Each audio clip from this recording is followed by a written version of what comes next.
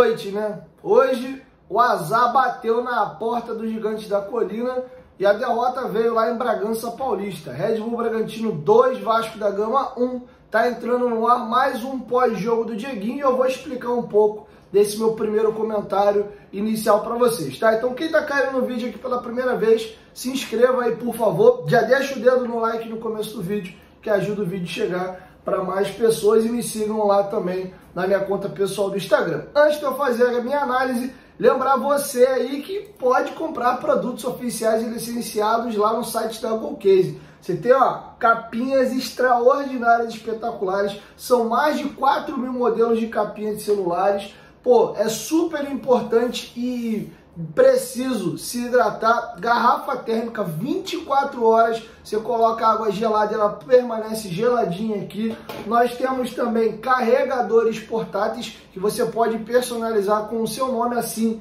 como eu fiz aqui também com a minha garrafa térmica carregador de celular, mochila, eles têm uma linha exclusiva de produtos do Vasco. E não é só produtos do Vasco, tá? Você tem Marvel, você tem Disney, tem uma linha absurda lá. Com certeza você vai achar alguma coisa que te interessa, tudo produtos que vocês podem personalizar. Porque usar a palavra promocional Go Vasco, você ganha frete grátis e um descontinho extra aí no carrinho, tá? Corre comprando duas capinhas, você leva quatro Go Case, parceira do canal Futebolaço. Dito isso, galera, vamos seguir aqui para a nossa análise.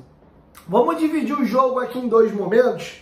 Primeiro tempo, os 10 minutos iniciais, o Red Bull empurrou o Vasco para trás, amassou. Falei, ih, rapaz, o negócio hoje vai ser esquisito, hein? O Red Bull é um time que tem uma característica deles, né? Eles contratam sempre jogadores com muita força, muita intensidade e, e velocidade, né? Um time físico, né? É incrível como eles trabalham só com esse tipo de jogadores, jogadores jovens, né? E muita velocidade, os caras indo para dentro. Era hurtado de um lado, é, fazendo muita fumaça, o próprio Nacho também, jogadores ali interessantes.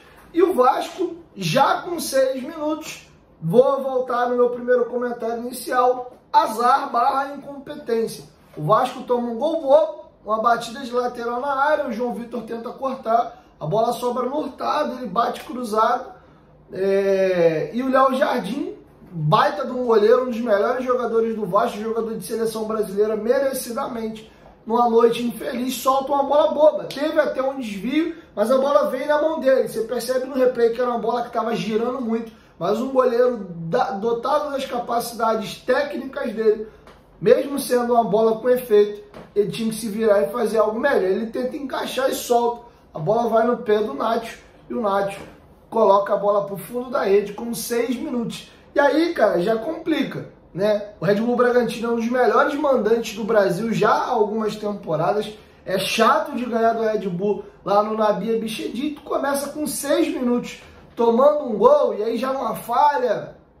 Enfim, Vasco acaba já iniciando o jogo nesse processo. Porém, o tempo passa depois desses 10 minutos aí de muita posse de bola e o Vasco não conseguindo sair jogando, trocar muito espaço, o Matheus Carvalho fez um partidaço contra o Grêmio perdido, mas muito perdido, até dando carrinho, tentando combater, mas perdendo bolas bobas, meio desatento, um pouco na questão do posicionamento.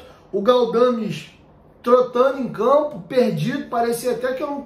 Eu fui notar, falei, cara, o Vasco tá jogando com menos um. Eu falei, não é possível. Eu fui contar, aí eu olhei, depois viraram uma bola pro lado de direito de defesa do Vasco, eu vi o Galdamos acompanhando. Eu falei, caramba, o Galdamos está em campo. Isso já perto dos 20 minutos.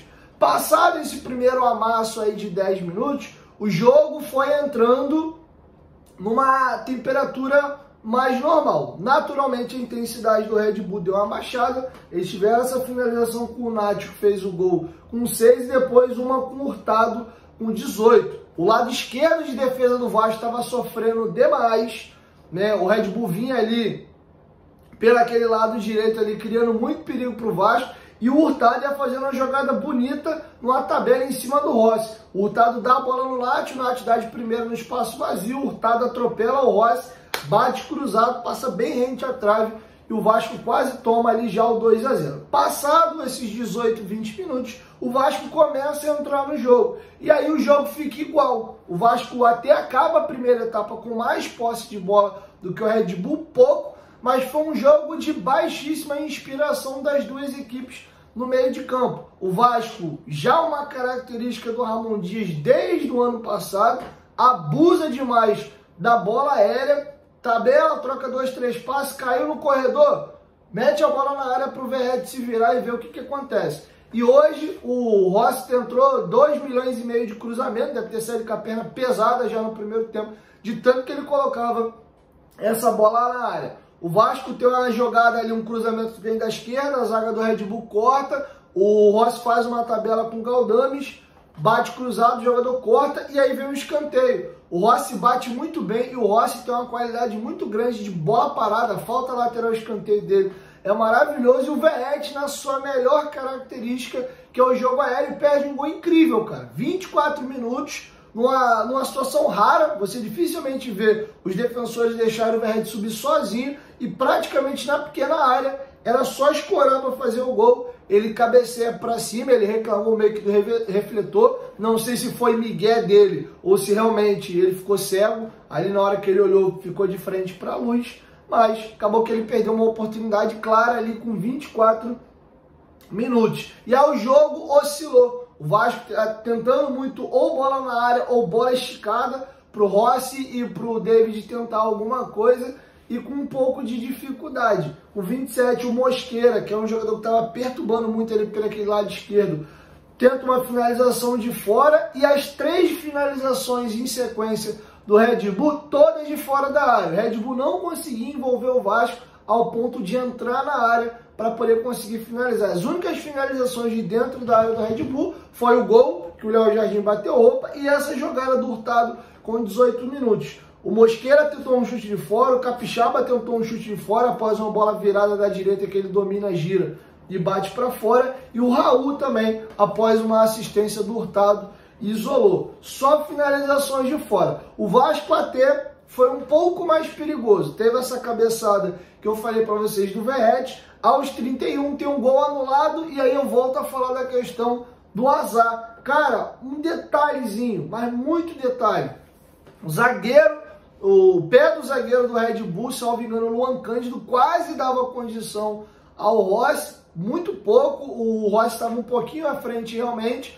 O Matheus Carvalho faz um belo cruzamento, de novo, uma jogada direta nele, enxerga o Rossi, faz uma bola longa até interessante e o Rossi escora para o meio do jeito que dá. E aí, erro grotesco da zaga do Red Bull. O Luan Cândido vai tentar proteger o Lucão atacar a bola e aí o Verrete atravessa o... atravessa... A quinta série vai bater em vocês. E aí o Verrete antecipa o Luan Cândido, dá meio que um carrinho, toca a bola por cima do Lucão e faz um belo gol. Vasco empataria a partir dali, mas no VAR foi dado o impedimento. Com 46, uma bola alçada na área, o Lucão, que hoje é goleiro do Red Bull, se fosse goleiro do Vasco, eu estaria criticando demais ele aqui no pós-jogo. Toda a bola alçada na área e várias jogadas dava para ele encaixar a bola. Ele socava a bola, ele socava a bola e quase tomou um gol bobo nessa esse cruzamento do Rossi que vem da direita. Ele tenta, ele tenta socar a bola para frente, acaba se chocando com um jogador do próprio time dele, fica estirado no chão. O Cocão antecipa a, o primeiro jogador do Red Bull na entrada da área, antecipa, dá o tapa no espaço vazio, chuta de direita, a bola passa rente a trave e acaba ali o primeiro tempo. O primeiro tempo já era para ter acabado no empate. O Red Bull teve a jogada do Hurtado e o gol do Nacho de chances realmente claras assim para fazer gol não fez. O Verret perdeu um gol incrível, de cabeça sozinho, teve o gol anulado no detalhe e também o do Cocão bem no finalzinho, que levou bastante perigo. Então, placar moral, e não existe placar moral no futebol, naquele momento ali seria um empate. Mas o jogo acabou 1 a 0 E o Ramon Dias, já no intervalo, mexeu bastante no time, e que é algo que não é muito comum dele, ele fez três alterações de uma vez. Ele tirou o Matheus Carvalho e botou o Zé Gabriel. Ele tirou o João Pedro e botou o Maicon. E tirou o Rossi e botou o Rayan.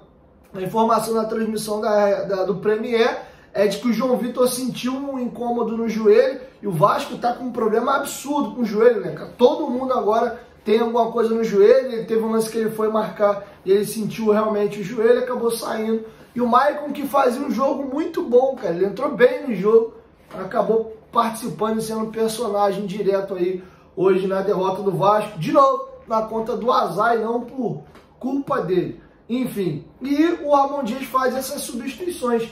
E o jogo começa no segundo tempo completamente diferente do primeiro. O Vasco amassa o Red Bull no campo dele e em cima, tendo oportunidades ali de marcar o gol. O Verrete, logo com 5 minutos, tem um cruzamento do Léo da esquerda e o Verrete faz um fundamento do cabeceio perfeito. E aí eu volto a falar do azar. A bola pega no pé da trave e vai para fora. A gente teve o gol anulado ali num detalhezinho Tivemos uma falha do Léo Jardim, que é goleiro de seleção brasileira, o cabeceio do Verrete na trave e a outra que ele tá sozinho, ele reclama do refletor e acaba perdendo o gol. Com 14 minutos, o Léo quase faz o gol numa falta que o Galdames bate pela direita, o Léo o, o Léo cabeceia, a bola meio que ainda desvia no mar e aí o Lucão faz uma bela defesa e põe para escanteio. O gol do Vasco parecia ficar maduro, o Gustavinho fez uma jogada numa tabela que ele dá um corte no esforço, ele cai sentado e chuta para fora sem grande perigo. E o Red Bull só vai entrar no jogo e começar a finalizar com 26 minutos. E você sentia, tá maduro. O Vasco vai acabar é, empatando o jogo aí, talvez até virando. E com 18 minutos, o Premier conseguiu pegar um bastidor muito interessante, uma bola rifada para frente, o Verrete faz uma parede maravilhosa e a bola vem, ele já vira na direita no Ryan, o Ryan arrasta e a leitura de jogo e a movimentação do David é digna de aplauso. Ele entende a jogada, faz a diagonal, ataca certinho, fica na condição sem se colocar impedimento, o Ryan vem arrastando por dentro, acha o passe na direita para o David, o David dá uma leve olhada, vê o posicionamento do Verrete e aí faz o cruzamento do limite certinho entre o goleiro, o defensor e o Verrete. O Verrete ataca a bola, empata o jogo. E eu falei, opa, empatamos cedo, com 18 minutos, o Vasco está amassando o Red Bull. Quem sabe não dá para pensar até na virada, mas é, o empate lá no, no Nabia Bicha vindo de uma vitória contra o Grêmio em casa, boa coisa, não dá para reclamar não. E aí a coisa ficou interessante, um a um. E eu falei, bom, vamos ver que bicho que vai dar. E aí o Red Bull tem uma melhora quando o Bruno Gonçalves ou o Bruninho entra na segunda etapa. Ele já gera um lance de perigo com 26 minutos. Numa jogada que o Maico vai tentar antecipar, a bola passa por ele, o Bruno Gonçalves domina, consegue o corte no Léo e bate cruzado, a bola, a bola pega na bochecha da rede. E aí, com 34 minutos, o mesmo Bruno Gonçalves tem a oportunidade de fazer o 2x1 para o Red Bull. Uma jogada pelo lado direito de ataque do Red Bull Bragantino, a tabela, a tabela, a tabela vem, o passe é rolado para trás e o Bruno Gonçalves mete um touchdown e isola. E o Red Bull começa a botar as asinhas de fora, pegando o trocadilho aí do energético e parece que vai entrar no jogo. O Vasco tenta uma finalização com o Zé Gabriel de fora após o escanteio e a zaga do Red Bull fazer o corte. E ali o Vasco abaixa um pouco a sua pressão e o seu domínio. O Red Bull começa a entrar um pouquinho no jogo. E aí eu volto a falar da questão do azar caminhando para finalizar a partida. Uma jogada boba, um lateral batido. Os jogadores do Vasco fazem a famosa marcação frouxa, os marca-fofo deixa um pouco de espaço, o lateral é batido, os jogadores do Red Bull conseguem fazer dois, três passes e a bola cai no pé de quem? Do Vitinho, que entrou no segundo tempo. Ele domina, corta para dentro e você vê que ele está de cabeça baixa.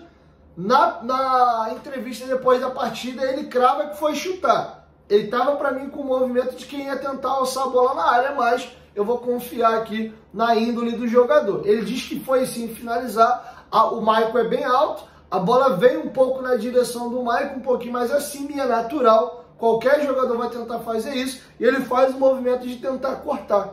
E aí o chute despretensioso, que não era nem uma finalização forte, a bola vai morrer lá no outro ângulo, exatamente na gaveta, um golaço.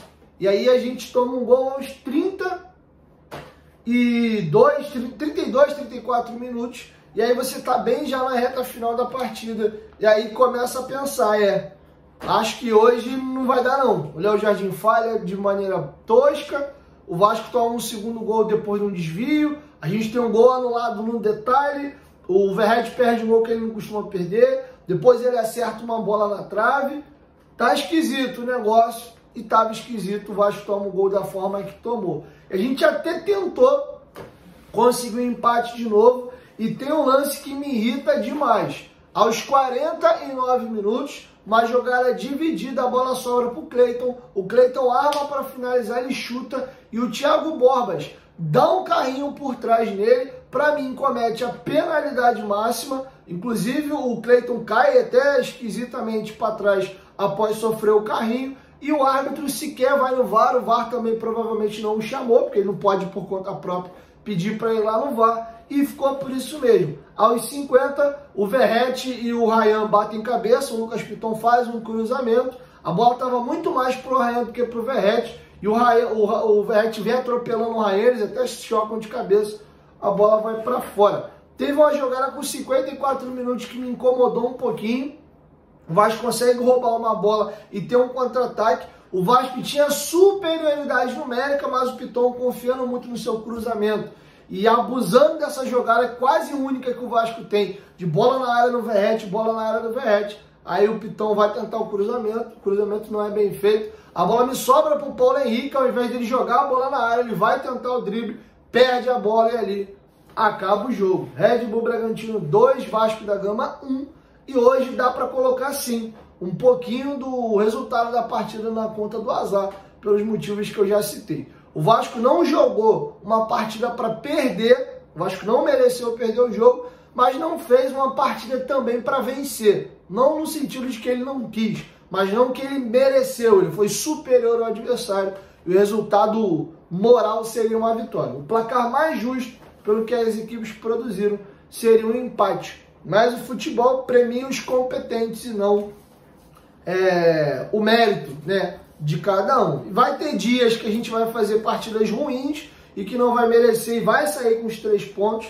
Então hoje foi o nosso dia aí de fazer um jogo para empatar e seria um bom resultado. A gente acabou saindo derrotado, tá? Individualmente, eu tenho que elogiar a partida que fez, principalmente na primeira etapa, o Esforza, muito bem posicionado, acertando as bolas longas e fazendo o time sair jogando de trás bem posicionado, ligado com, os carrinhos. Na reta final do segundo tempo ele teve uma queda, aí eu já não sei se bateu o cansaço, mas ele estava fazendo uma boa partida, inclusive nessa virada no segundo tempo que o Vasco estava bem, ele teve um pouquinho mais de liberdade para jogar na vaga que estava fazendo o Matheus Carvalho, um volante ele mais pela esquerda, e estava bem no jogo, mas acabou dando uma pregada na reta final. Me preocupa muito essa situação do Galdames, é um atleta aí que não consegue jogar 90 minutos. Ah, pô, ele teve pouco, pouco, pouca minutagem nos dois últimos anos por culpa dele, né? Se ele jogou pouco nos dois últimos anos, tinha jogadores melhores que ele, ele não conseguiu é, atuar por lá. Jogou na Cremonense, que é uma equipe de segunda divisão da Itália, que já não é nem uma das principais ligas mais hoje do futebol mundial. E no próprio Genoa, que é uma equipe de meio para baixo de tabela no futebol italiano, que inclusive foi rebaixada recentemente, pertence a 777. Não é um cara veterano, não tem 30 e poucos anos, e me chama um pouco a atenção da idade que ele tem, se eu não me engano, ele tem 28 anos de idade, e é um jogador que já tem dificuldade de manter aí essa questão da intensidade por muito tempo e jogar 90 minutos. Acho até um bom jogador, tem muito bom passe, joga de cabeça em pé, mas é, não é o jogador que eu vejo para ser o titular e a salvação e a solução dos nossos problemas. Seria um bom reserva, um jogador para entrar na segunda etapa, para te dar um pouco mais de volume de jogo e dinâmica. E fica claro hoje, né, que a, a, falta que faz o Paulinho, né, cara? O Vasco é um time que mesmo no jogo do Grêmio, hoje de novo, foi falando de efetividade, o Vasco foi bem efetivo contra o Grêmio, não criou muita coisa, não amassou o Grêmio, aproveitou as oportunidades que teve e hoje mostrou mais uma vez dificuldade. Você pode pegar os lances de perigo do Vasco, ou é contra-ataque, né, jogada direta, ou bola, bola esticada ou bola na área. O gol anulado do Verrete, uma bola esticada é, do Cocão pro, David, pro Rossi fazer a casquinha. A bola na trave do Verrete é um cruzamento, o gol perdido do Verrete, um escanteio batido pelo Rossi. O gol do Vasco hoje também foi uma jogada direta, um contra-ataque muito bem executado, mas o Vasco dificilmente vem envolvendo o adversário na troca de passe, chega na entrada da área, alguém acha uma bola nas costas do zagueiro, o atacante ataca o espaço e sai na cara do goleiro para finalizar. Já desde o ano passado, um cara que conseguia dar um pouco desse jogo para o Vasco do meio-campo era o Paulinho, que é um cara motorzinho tem qualidade e força para ele pegar a bola e progredindo em velocidade, quebrando linha. A gente não tem esse jogador hoje no elenco. Quem faz um pouco isso, mas com bem menos qualidade técnica na lateral é o Paulo Henrique. É o único jogador que eu vejo no Vasco hoje que pega essa bola e vai para dentro do adversário, tenta quebrar a linha e consegue gerar um pouco esse tipo de jogo. O Ryan não entrou mal, participou do, do gol hoje, mas o Ryan me incomoda para quem é ponta.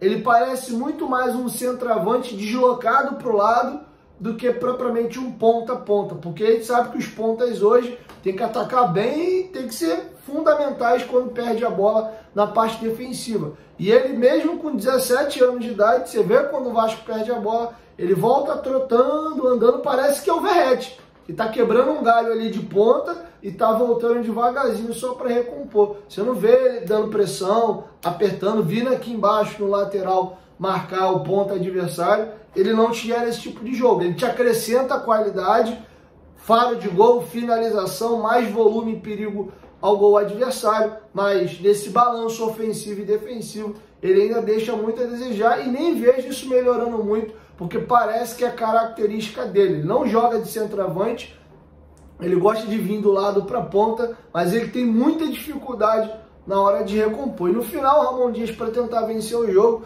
o que o Vasco conseguia mais fazer era a bola aérea. Ele tentou o Cleiton na vaga do Galdames e o Cleiton entrou bem, cara. Me mostrou de novo um jogador interessante. Ele tem muita força, ele sabe fazer a parede, faz a base, o cara bate e cai. E é um cara que abriu para chutar, ele finaliza e finaliza bem consegue jogo também no alto, na casquinha, me surpreendeu. Acho que a gente tá bem de centroavante aí. Aconteceu uma suspensão, uma lesão, se Deus quiser não vai ter, mas caso aconteça do Verrete aí, eu acho que a gente tem uma sombra interessante ali, que é o Cleiton. Tá bom? Só de novo questiona os valores, né? 18 milhões para um jogador que hoje realmente é para ser o reserva para compor o elenco e o Vasco ainda carente de algumas peças no time titular. Então tá feito o registro. O Zé Gabriel não gostei da partida dele. É, o time ficou mais sólido defensivamente, mas errando muito tecnicamente na hora de sair para o jogo. Quase toda vez que ele saía para jogar, quando era apertado, ele devolvia a bola para o time adversário. Não gostei do jogo dele hoje, não. O Adson, 5 milhões de euros, entrou e hoje fez quase diferença nenhuma no jogo de novo. Me preocupa um pouquinho. Então é isso, está feito o registro. Vitória do Red Bull Bragantino hoje não merecida resultar mais plausível hoje seria um empate mais o futebol. Não tem essa. Futebol é bola na casinha e o Red Bull fez isso duas vezes e o Vasco fez uma, beleza? Quero te ouvir. Deixa a sua opinião aqui embaixo nos comentários. E tem clássico. Sábado tem Vasco Fluminense ou Fluminense Vasco, já comando é da equipe tricolor das Laranjeiras. Enquanto tem Bambu, tem Flash. É clássico. Vamos para cima dos caras, beleza? Quero te ouvir. Deixa a sua opinião aqui embaixo nos comentários. E assim a gente encerra a nossa, nosso pós-jogo. Valeu? Um, dois, três. Futebolaço, tamo junto, família. E amanhã eu volto com a nossa primeira edição. Tamo junto.